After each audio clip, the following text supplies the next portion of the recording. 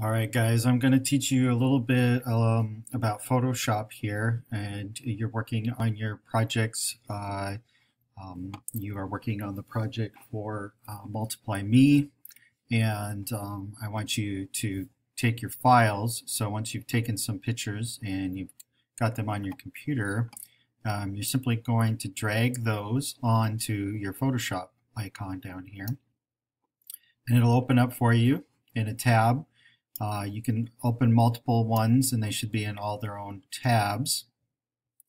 So if you got that one and then this one will open here in just a sec. You'll see that uh, Cameron here did quite a few different ones. We're going to turn off a few of these layers that he already did. Uh, you'll see his base layer here. And then um, here's one of the other photographs he took. So we're going to use this lasso tool.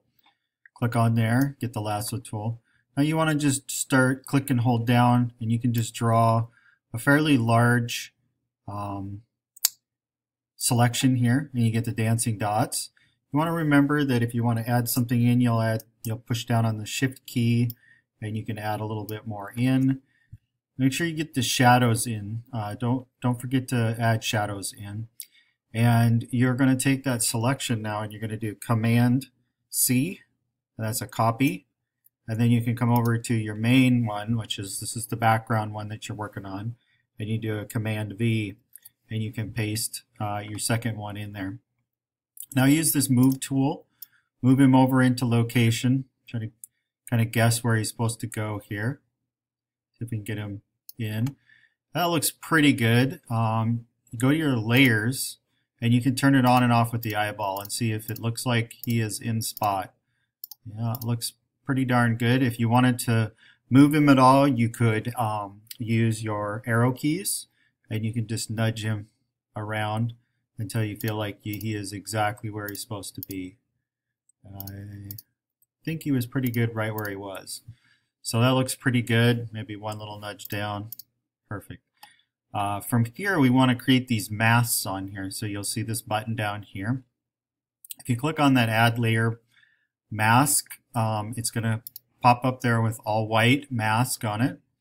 And we're going to add some black into that. So we're going to come in with our brush tool. And let's make my uh, Photoshop here a little bit bigger. So my menu is not down there so you can see down here in this corner there's the white and the black. You want to have black in that main frame.